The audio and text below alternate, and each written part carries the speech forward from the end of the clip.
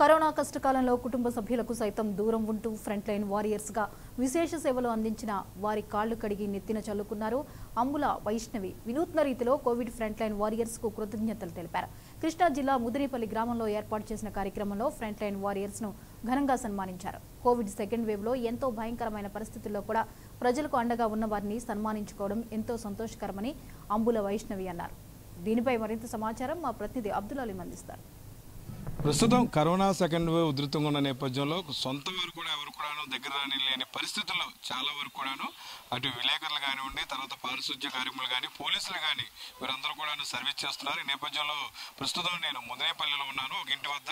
ఏదైతే గతంలో కూడాను తన చార్టీదారు ముందున్న అమ్ముల వైష్ణవి అమరావతి మాజీ బ్రాండ్ అంబాసిడర్ తను ఎవరైతే పారిశుద్ధ్య కార్మికులు ఉంటారో పోలీసు వారు ఉంటారో విలేకరులు ఉంటారో వారి కాళ్ళు కడిగి వారు ఏదైతే చేసిన పనులు ఉన్నాయో సెకండ్ వేలో కూడా ఉధృతంగా ఇంటి ఇంటి సభ్యులను కూడా పక్కన పెట్టి కార్యక్రమాలు నిర్వహించిన నేపథ్యంలో వారికి ఈ ప్రత్యేకంగా కూడాను కాళ్ళు కడిగి వారిని పా- పాదాభి వందనం చేస్తూనే మన పక్కన వారితో ఆశీర్వాద సూచనలు కూడా తీసుకుంటున్నారు. ఓవరాల్ చూస్తే ముదినేపల్లి డివిజన్లో ఉన్న ఎవరైతే ఉన్నారో పోలీసులు కానీ పారిశుద్ధ్యంలో వారందరూ కూడాను సన్మానించుకునే పరిస్థితి ఉంది. మీరు చెప్పండి అమ్మా ఎందుకని ఆలోచన వచ్చింది? కరోనా సెకండ్ వల్ల వీళ్ళందరూ పనులు చేశారని మీరు చేస్తున్నారు లేకపోతే ఎందుకని ఆలోచన వచ్చింది?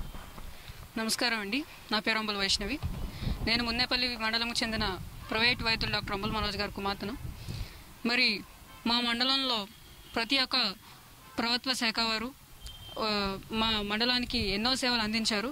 మరి వారందరికీ మేమంతా మేమెంతో రుణపడి ఉన్నాము. మరి శ్రీ లక్ష్మీకాంతం గారి స్ఫూర్తితో ఈరోజు మా నాన్నగారితో కలిసి మేము వాళ్ళందరినీ పాదాభివందనాలు చేసి సత్కరించడం అనేది జరిగింది. మరి ఇందుకు మాకు మాకు హెల్ప్ చేసిన ప్రతి ఒక్కరికి మేము ఎంతో ధన్యవాదాలు తెలుపుతున్నాము. మరి వీళ్ళందరూ ఉండడం వల్లే మేము ఈరోజు ఇంత ఆరోగ్యంగా వాళ్ళ సేవలు అందుకుంటున్నాము. మరి కాబట్టి వారికి మేము ఎల్లవేళలా ఆ, ఎప్పుడు దీంట్లో పోలీస్ శాఖ వారు ఉన్నారు సార్.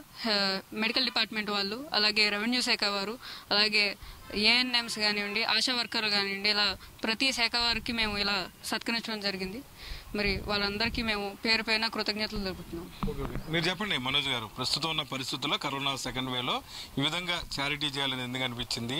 ప్రత్యేకంగా ఏదైతే పారిశుద్ధ్య కార్మికులు కానీ పోలీసులు కానీ కరోనా సెకండ్ ఉధృతిని కాపాడటానికి అటు కుటుంబ సభ్యులను కూడా వదిలి బయట ఉండే పరిస్థితి ఉంది. అంటే ఈ విధంగా ఆచరణ అనేది ప్రతి ఒక్కరు చేస్తే బాగుంటుంది అంటారా ఇది ఇలా చేయడం వల్ల ప్రతి వారిలో ఒక స్ఫూర్తి అనేది ఏర్పడుతుందండి. ఇవన్నీ కూడా మాకు లక్ష్మీకాంతం గారు నేర్పారు. మనం చిన్న పని చేస్తే సమాజానికి అది ఎంతో ఉపయోగపడుతుందని చెప్పారు. అందుకని మా తోచిన సహాయం ఏంటంటే డబ్బులుగా మేము చేయలేక కాళ్ళు గడిగి వాళ్ళని సత్కరిస్తున్నాం.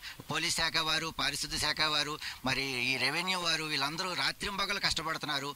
దీనికోసం వారికి మేము తెలియజేయగలిగిన చేయగలిగిన సహాయం ఏంటంటే వాళ్ళు కాలగలిగి వాళ్ళకి నమస్కారం చేయడం. వీళ్ళందరి వల్లే మనం ఇలా బతికున్నాం. కాబట్టి ఇలా అందరం సంతోషంగా ఉండాలంటే అన్ని శాఖల వారు సమన్వయంగా పనిచేసి మనం పరిశుభ్రంగా ఉండాలి. మనం ఆరోగ్యం అవేర్నెస్ తీసుకోవాలి. కరోనా మీద చాలా సమ- ఉన్నాయి. అవన్నీ కూడా మనం చాలా జాగ్రత్తగా వహిస్తూ మనం ముందుకు వెళ్ళాలని మన దేశం మన రాష్ట్రం అందరం బాగుండాలని కోరుకుంటూ ప్రతి వారిని కూడా మీరు కూడా ఇలా సహాయం చేసి తోటి వారికి సహాయం చేస్తూ పది మంది సమాజాన్ని బాగు చేయాలనేది మా కోరిక అండి. దానికోసం లక్ష్మీకాంతం గారి స్ఫూర్తితో మేము ఇలా చేస్తున్నామండి. మొత్తం మీద కూడాను కరోనా సెకండ్ వేవ్ సందర్భంగా ఎవరైతే ముందుండి ఫ్రంట్ లైన్ వారియర్స్గా పనిచేశారో వారిని సత్కరించుకుంటూ అంటే సత్కారం కూడాను వారి పాదాలను కడిగి వారిని పూలతో సన్మానించడం అనేది కూడాను ఈరోజు జరుగుతుంది. ఏదైతే ప్రస్తుతం ఉన్న పరిస్థితుల్లో ప్రతి ఒక్కరు కూడా ఈ విధంగా ఫ్రంట్ లైన్ వారియర్స్ గుర్తెరిగి సన్మానించుకుంటే బాగుంటుందని చెప్పి కూడాను ఎవరైతే బ్రాండ్ అంబాసిడర్ ఉన్నారో వైష్ణవి ఆవిడ అభిప్రాయపడుతున్నారు. కెమెరామ్యాన్ రాజేష్తో కలిసి Abdul Aleem Vijayawada. For more updates please subscribe ninety nine TV Telugu.